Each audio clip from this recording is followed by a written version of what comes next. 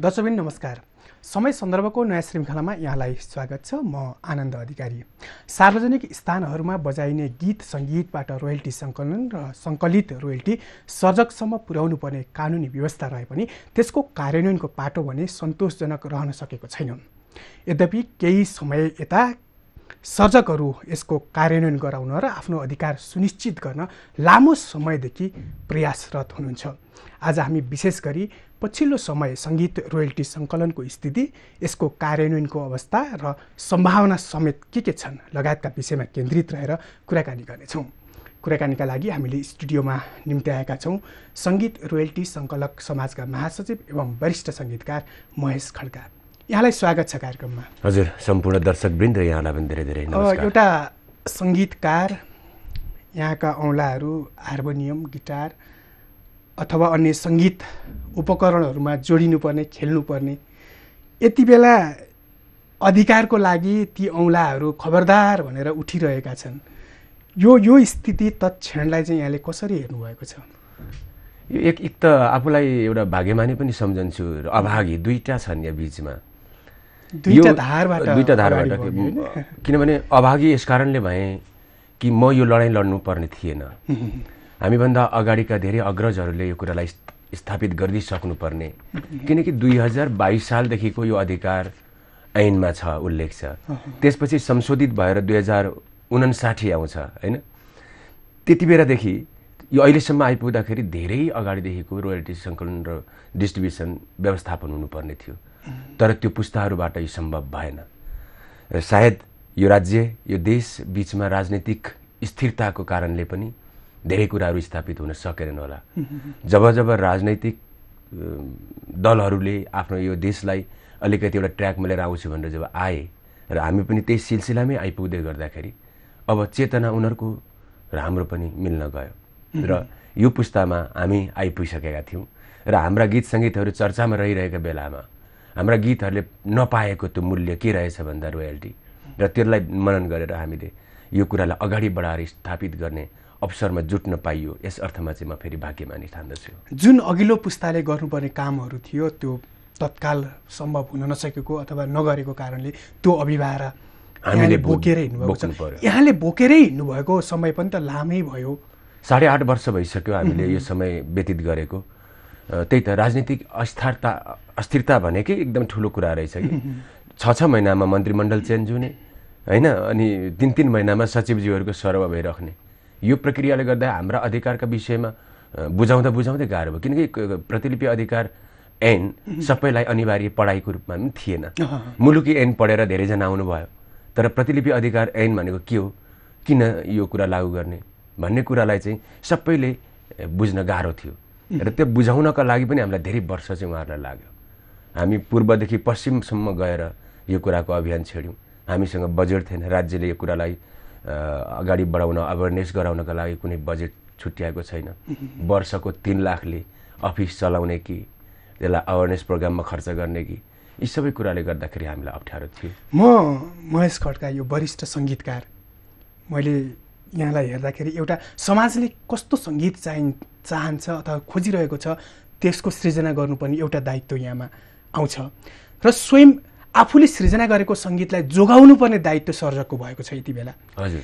र त्यो सङ्गीत उपयोग गरे बापत पाउनुपर्ने लाभको सुनिश्चितता गर्नुपर्ने दायित्व पनि अहिले जिम्मेवारी बोकेर यहाँ हिँड्नु भएको छ। तिनवटा जिम्मेवारी। कुन जिम्मेवारीले चाहिँ बढी चिमोट छ पोल्छ यहाँलाई? जिम्मेवारी सबैभन्दा पहिलो चाहिँ मलाई चिमोट्ने र पोल्ने भनेको चर्चामा रहने सङ्गीतहरू हुन्छन् गीतहरू हुन्छन्। ती सिर्जना गरिन्छन् र मान्छेको त्यो मनस्थितिमा कहिले पनि अमेट छाप बसेर बस्ने सृजनाहरू हुन्छन् र ती सृजनाहरूलाई उसले साह्रै माया गर्छ। र त्यो माया गरेको सर्जक स्रष्टा सृजना सँगसँगै सर्जक स्रष्टालाई नै माया गर्छ भौतिक रूपमा। किन सङ्गीत त अदृश्य चिज हो। पहिलो सृजना हुँदाखेरि मात्र आँखा चिम्लेर हेर्न सकिन्छ सुन्न सकिन्छ। तर फेरि त्यो सङ्गीतलाई मनन गरिसकेपछि फेरि भिजुअल मार्फत पनि देखिने भएको छ। यस्ता सृजनाहरू हिट गरेर हिँडिसकेपछि त्यो सर्जक स्रष्टाको जीवन पनि धेरै माथि होला भन्ने अरूले सोच्नुहुन्छ। हिट हुनु भनेको माथि हो। हिट हुनु भनेको त्यसले सबै क्षेत्रमा प्रयोग भइसकेपछि प्राप्त गर्ने अधिकार पनि प्राप्त गर्यो होला भन्नुहुन्छ श्रोताहरूले। तर हामीले सबै क्षेत्रबाट आफ्नो अधिकार प्राप्त नगरेपछि चर्चामा गीत सङ्गीत रहने भयो। मान्छेको जीवन चाहिँ धराशायी बन्दै गयो। र यो धराशायी बन्दै गरेरै यो वास्तवमा रोयल्टीको चाहिँ स्थापना भएको छ फ्रान्समा। फ्रान्सदेखि नै सुरु भएको हो यो। र एटिन एटी एटमा यो सुरु भयो। एटी एटिन फोर्टी सेभेनमा त्यहाँनिर मुद्दा लडियो। त्यहाँ पनि त्यस्तै भएको छ कि एउटा सर्जकसँग आफ्नो अधिकार प्राप्त गर्नका लागि धेरै लड्नु पर्यो ऊ अदालत जानु पर्यो। अनि त्यति बेर मात्रै अदालतले के फैसला गरिदियो भने कुनै पनि सृजनाको मूल्य हुँदैन। बहुमूल्य सृजना अमूल्य सृजना। मैले गरेको सृजनाको तपाईँले मूल्य लाउन सक्नुहुन्छ त। अब मै तपाईँलाई के थाहा कति लगाउने? अब तपाईँ हेर्दै हुनुहुन्छ एउटा गाङनाङ स्टाइल कोरियाको एउटा गीत संसारभरि प्रचलित त्यत्रो चाहिँ मान्छेहरूले हेरे। त्यो गीतलाई कसले मूल्याङ्कन गर्ने त? यति यतिमा किन्ने यतिमा यसको रेट हुने भन्ने। त्यो त्यही सर्जकले रेट तय- गर्छ कि यो सङ्गीतको यो गीतको रेट कति हो? भनेपछि ती सङ्गीतकार र गीतकारहरूको एउटा संस्था हुन्छ एउटा सिएमओज हुन्छ त्यहाँ। र त्यो सिएमओजले तय गर्छ कि हाम्रो सृजनाको मूल्य यति। भनेपछि त्यो त्यो ठाउँबाट तत्त ठाउँबाट जतिवटा ठाउँहरू देखिएका छन्। अहिले हामीले नेपालमा चालिसवटा प्लेसेसहरू छन् जहाँबाट रोयल्टी कलेक्सन गर्नुपर्ने उठ्न सक्ने क्षेत्रहरू उठ्न सक्ने क्षेत्रहरू चालिसवटा छन्। र ती चालिसवटा क्षेत्रभित्र हामीले पाँच सातवटा क्षेत्रभित्र मात्रै अहिले हात हालिसकेका छौँ र त्यसलाई नियमित रू- उठाउने प्रक्रिया गर्दैछौँ। यो उठ्नलाई चाहिँ चालिसवटा सेक्टरलाई कसरी व्यवस्थित गर्न सकिन्छ? पहिलो मेरो चिन्ता र मुटु मलाई पोल्ने त्यहाँ हो। उठाएर त्यो कसरी डिस्ट्रिब्युसन गर्न सकिन्छ भन्ने। दोस्रो भनेको नेपाली म्युजिक नेपाली पनका म्युजिकहरू धेरै बजारमा आउँदैछन् आउनेवाला छन् र त्यो वास्तविक नेपाली म्युजिकका लागि साथीहरूले अरू साथीहरूले आफूले मात्रै होइन अरू साथीहरूले प्रयत्न गर्नुभएको कुरालाई पनि जोगाएर र त्यसलाई चाहिँ विश्वव्यापीकरण नेपाली म्युजिकलाई विश्वव्यापीकरण गर्न पाए हुन्थ्यो भन्ने लाग्छ। यो रोयल्टी सङ्कलनको त कानुनले नै सुनिश्चित गरेको छ। प्रतिलिपि अधिकार ऐन 2059 उन्साठीले नै हजुर। सुनिश्चित गरेको छ। हजुर। त्यसका मापदण्डहरू पनि यहाँले तयार गरिरहनु भएको छ। अनि जुन विगतमा यहाँले औलाउनु भयो राजनीतिक अस्थिरताको कारण पनि यो पूर्ण रूपमा कार्यान्वयनमा जान सकेन भन्ने यद्यपि त्यो सब अवस्था अहिले छैन।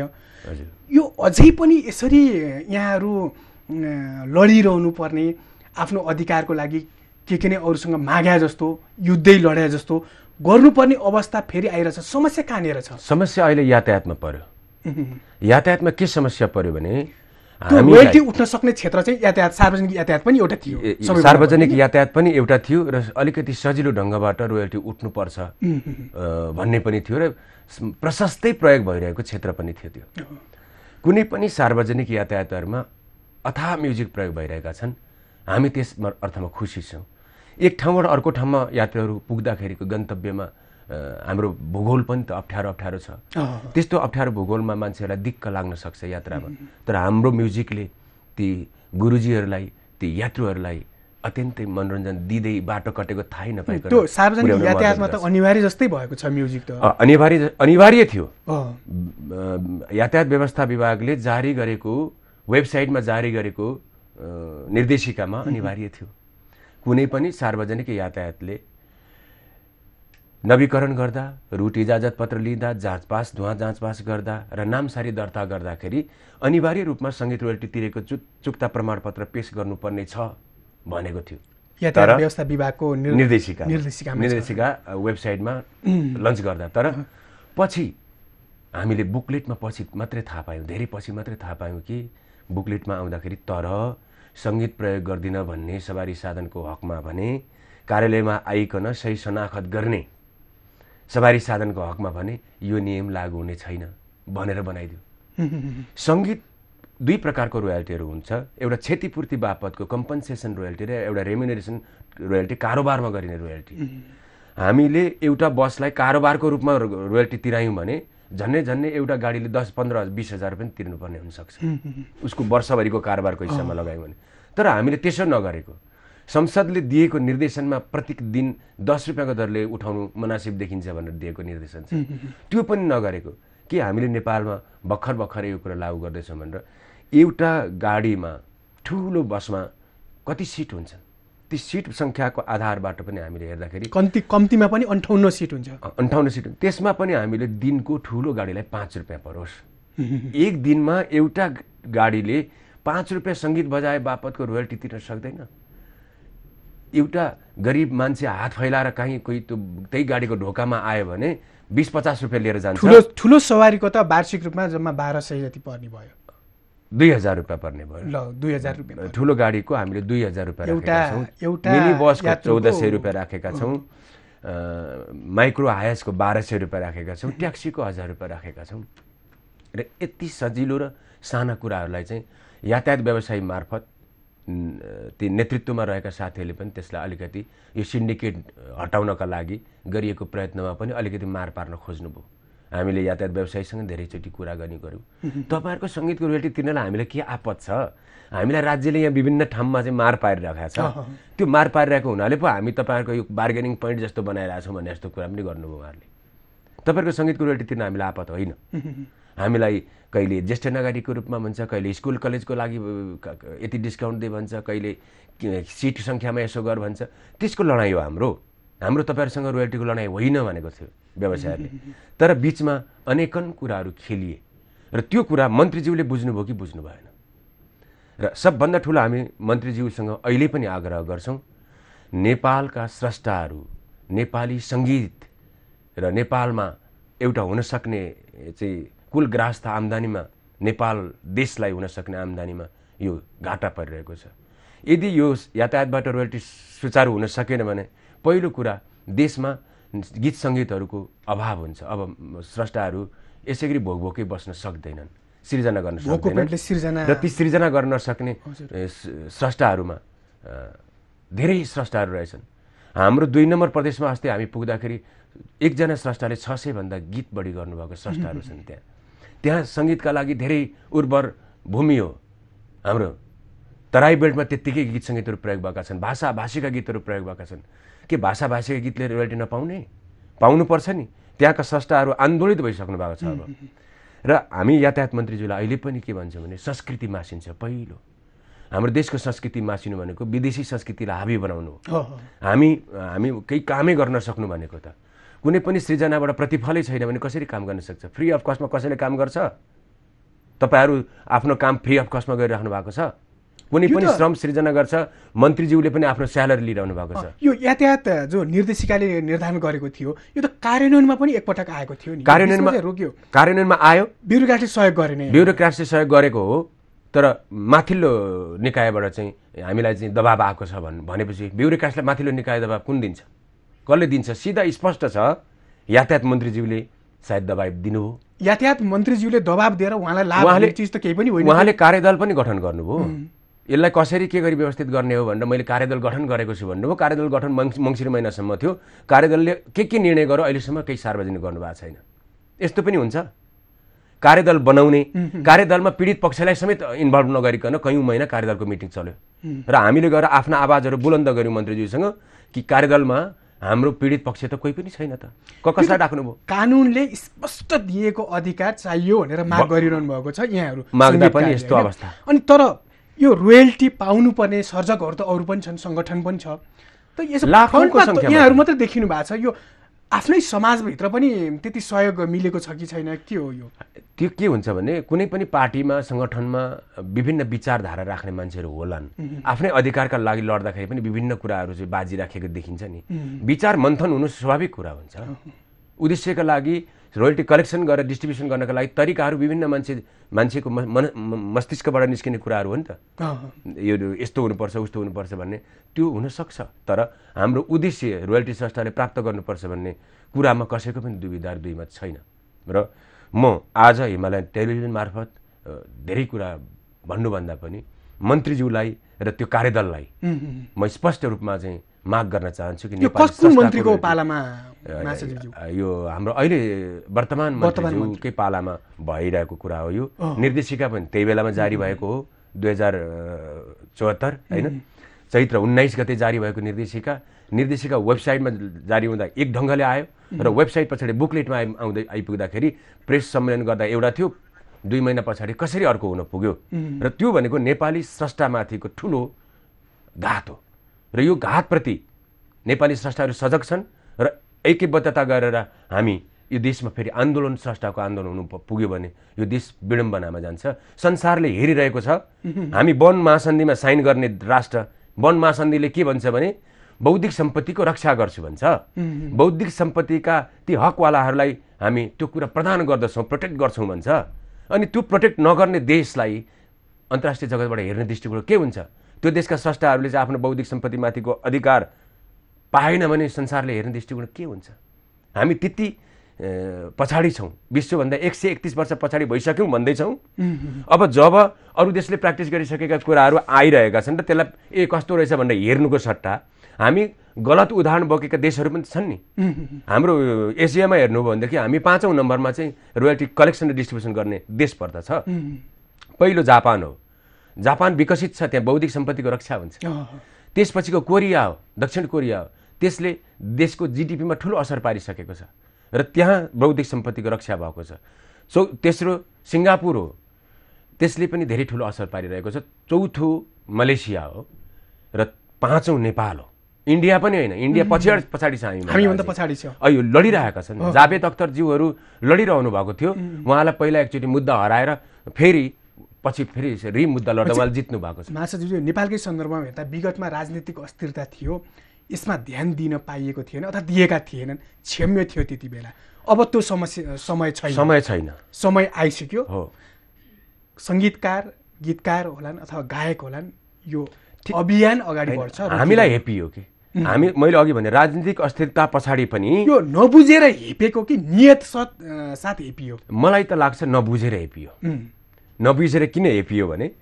बु बुझेर हेप्नुपर्ने कारणै छैन किनकि कानुनले प्रदत्त अधिकार स्पष्ट तोकेको स्पष्ट तोकिसकेको कानुन प्रतिलिपि अधिकार ऐन दुई हजार उन्साठीलाई लागू गर्ने कुरामा व्यवस्थापिका संसद विकास समितिले दिएको निर्देशन प्रधानमन्त्री तथा मन्त्री परिषदले गरेको चाहिँ अगाडि बढाएको कार्यान्वयन प्रक्रिया यी कुरालाई सहज रूपमा चाहिँ स्वीकार गरेर हेर्नुपर्ने हो नि त। तर त्यो कुरालाई चाहिँ लागू नगर्नुको पछाडि इन्डियामा के भएको छ भनेर हेऱ्यो भने त हामीभन्दा पछाडि भएको देशलाई अब फेरि पछाडि जाने त हामी। होइन? बाहिर मुलुक हेर्दा हेर्नुभन्दा पनि आफ्नो बङ्गलादेशमा के भएको छ पाकिस्तानमा के भएको छ भनेर हेर्ने कि हामीले संसारका सबैभन्दा विकसित राष्ट्रहरूले के गरिरहेका छन् भन्ने हेर्ने। किनकि हामीलाई सजिलो छ नि त अहिले हेर्नका लागि र ग्लोबलाइजेसन भएको यो देशमा हामी पनि त त्यहाँ छौँ नि त। अहिले अमेरिकामा एकैचोटि हेर्न सक्ने हाम्रो ताकत छ नि। अमेरिकामा लन्च भएको मोबाइल हामी यहाँ प्रयोग गरिरहेछौँ डिजिटल सिस्टमबाट यति ठुलो परिवर्तन भइसकेको यो ब्रह्माण्डमा नेपालमा सुरु गर्नुपर्दछ भनेर अगाडि बढिसकेका र नेपाली सङ्गीत र संस्थालाई माया गर्ने श्रोताहरूले यो कुरा बुझिरहनु भएको छ। एकजना मान्छे अनसन बस्दाखेरि यहाँनिर तल्का मचिन्छ। हामीले त नेपालका स्रष्टाहरू कति माया गर्नुहुन्छ नेपाली श्रोताहरूले। हामीले पाउने अधिकार छैन भोकमरी हुने हामी। हामी अस्पतालमा बिमारी हुँदा जाँदाखेरि अस्पतालको बिल तिर्न सकेर संसारका फेसबुकहरूको वालहरूमा हामीले लेख्नुपर्ने। हामीले प्राप्त गरेको आफ्नो अधिकार प्राप्त गर्यो भने त हामी सहजै राज्यलाई पनि कर तिर्छौँ। पहिलो उठेको पन्ध्र प्रतिशत पहिला राज्यलाई जान्छ। त्यसपछि बाँकी रहेको आम्दानीको इन्कम ट्याक्स फेरि हामी राज्यलाई तिर्दछौँ। भनेपछि राज्यलाई धनी बनाउने काममा हामी जुटिरहेका छौँ। हामी मात्रै धनी राज्य। पनि धनी हुन्छ राज्य धनी हुन्छ अनि मात्रै हामी धनी हुन्छ। कसरी सङ्कलन गर्ने? यहाँले मूल्यको कुरा पनि गर्नुभयो। यद्यपि सङ्गीत रोयल्टी सङ्कलक समाजले त एउटा मोडालिटी बनाएको होला। तर तत् मोडालिटीको अभावको कारण पनि यसलाई मूल्य निर्धारण कसरी गर्ने? सङ्गीतको त वस्तु उपभोग गरे बाप जस्तो त्यो मूल्य ठ्याक्कै हामीले यतिमा किन्ने भन्ने हुँदैन। अप्ठ्यारो त्यहाँ छैन। त्यही त अघि मैले त्यो- मापदण्ड भयो मापदण्ड छ नि। हामीलाई हामीले त त्यो सबैभन्दा पहिला कलेक्सनको मापदण्ड र डिस्ट्रिब्युसनको दुइटै मापदण्ड बनाएको छौँ। कलेक्सन गर्ने त्यसै थुपारेर राख्ने पनि होइन त्यो पहिला कलेक्सन गरिसकेपछि सबैभन्दा पहिला राज्यलाई पन्ध्र प्रतिशत दिने। त्यो काटिन्छ त्यसपछि प्राप्त भएको रकमबाट पच्चिस प्रतिशत रकम त्यो सिएमओजहरूलाई खर्च गर्नुपर्छ। त्यहाँ कर्मचारीहरू छन् त्यहाँ भाडा तिर्नु परेको छ। अहिले हामीले देशका तिसवटा ठाउँहरूमा चाहिँ अफिस राखेका छौँ र त्यहाँनिर कर्मचारीहरू छन्। र हामीसँग त धेरै हजार कर्मचारी हुनुपर्ने जरुरी छ। हामीले कलेक्सन गर्ने मापदण्ड बनाउँदाखेरि त्यसका क्षेत्रहरू चालिसवटा क्षेत्रहरूमा हामीले धेरै कर्मचारी राख्नुपर्ने आवश्यकता छ। र हामीलाई त्यो अभाव छ। यसको स्पष्ट रूपमा कलेक्सन मापदण्ड र डिस्ट्रिब्युसन मापदण्ड राखेका छौँ र यो साधारण सभाले तय गर्छ र यो साधारण सभामा पेस गरेर रेडियोसँग कति लिने टेलिभिजनसँग कति लिने यातायातसँग कति लिने होटल रेस्टुरेन्टहरूसँग कति लिने होइन? दोहोरी रेस्टुरेन्टहरूसँग कति लिने सबै पार्टी प्यालेसहरूसँग कति लिने भन्ने कुराको सम्पूर्ण चालिसवटाको मापदण्ड तय गरिसकेको छ। र त्यो तय गरेर तय गरेको मापदण्ड हामीले सार्वजनिक गरेका छौँ मिडिया मार्फत साथ पेपर मार्फत। र त्यो अनुसार नै कलेक्सन गरिन्छ र त्यहाँ अनुसार नै सम्झौता हुन्छ।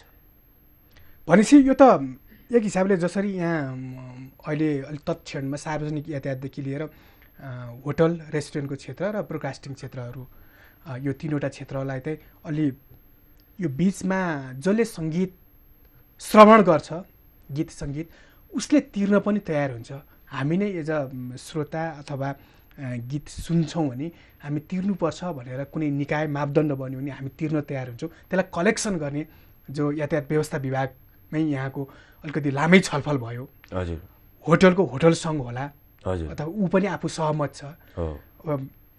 एफएमदेखि लिएर टेलिभिजन ब्रोडकास्टर्सहरूसँग नि यहाँ सहम सहमति गर्नुभएको छ। हजुर। भने यो स्पष्ट देखिन्छ एकातिर।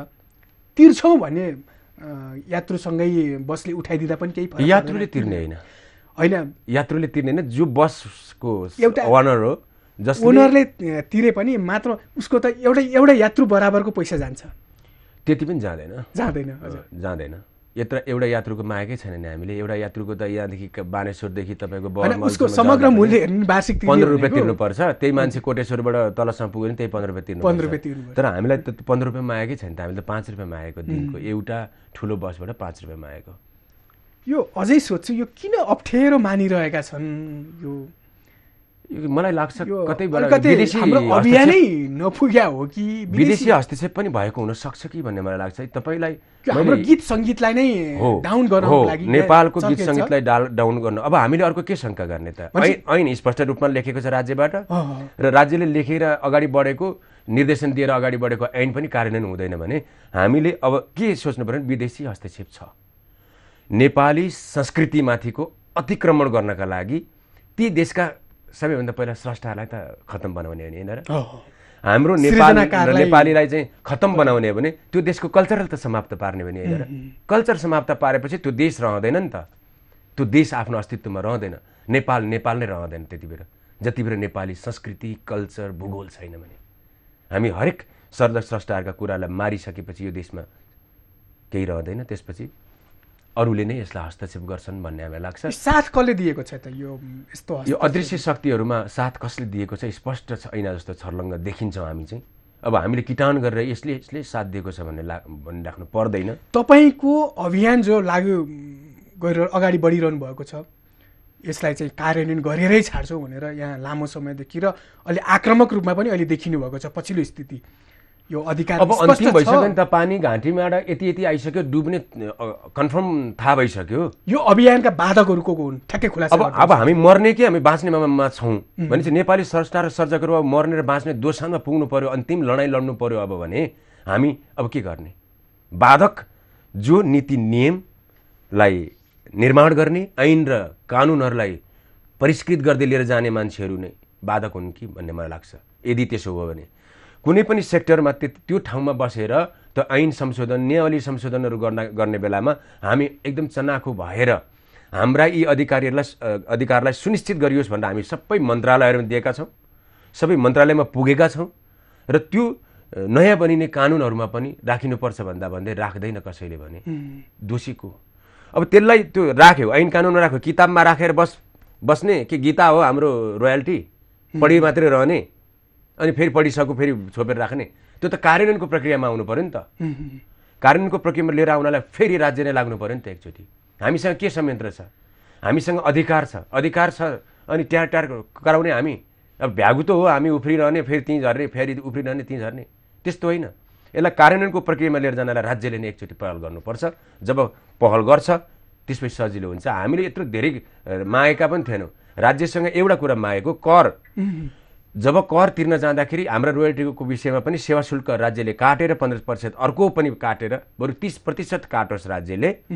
पहिलो हामीले दिनुपर्ने पन्ध्र प्रतिशत टिडिएस काटोस् अर्को सेवा सुविधा पन्ध्र प्रतिशत बरु काटोस् तर राज्यकोले सिधै कर कार्यालय आन्तरिक राजस्व विभागबाट गरिदियो भने त अत्यन्त धेरै सजिलैसँग सबै सेक्टरबाट रोयल्टी उठ्थ्यो सङ्गीत सिर्जना गर्ने यो कोमल हृदयले आज यति कठोर शब्द बोलिरहेको छ। हजुर। राज्यले सुन्न जरुरी छ। मैले मैले चाहेको थिइनँ। मेरो हातहरूबाट सङ्गीत सिर्जना नहुँदा मलाई आँखु सुझार्छ। हार्मोनियम नबजाइकन हामी सक्दैनथ्यौँ तर आज हार्मोनियममा धुलो लागिरहँदाखेरि पनि त्यो हार्मोनियमलाई हेरेर कहिलेकाहीँ घृणा लाग्छ। यति राम्रा सृजना दिन्छ त्यसले अनि त्यसले दिएको मेरो मन र त्यसको सुरले दिएको त्यो अस्तित्वलाई यो देशमा लागु हुँदैन। मैले किन सृजना गर्ने? सृजना गरेर मात्रै के गर्ने? जब सृजना गरेर मैले हेरेँ मेरा पन्ध्र सय जति झन्डै गीतहरूमा मैले धेरै गीतहरूलाई चाहिँ जन्माएँ सङ्गीत दिएँ तर त्यो गीतले प्राप्त केही अधिकार गर्दैन भने। मैले सृजना मात्रै गरिरहनुपर्छ र मभन्दा पछाडि आउने अर्को पुस्ताले फेरि मभन्दा ठुलो सङ्घर्ष गर्नुपर्छ र हामी नै गरौँ न सङ्घर्ष।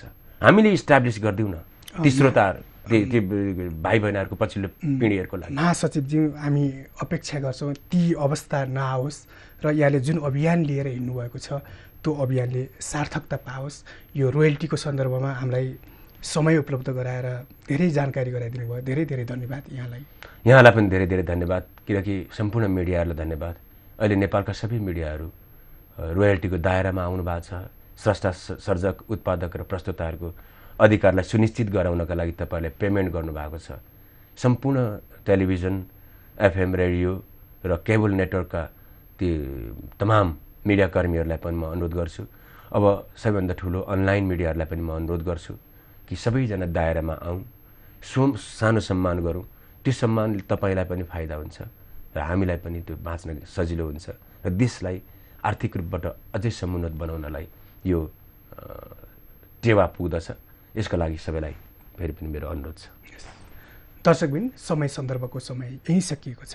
हामीलाई पनि बिदा दिनुहोस्। नमस्ते। Thank you.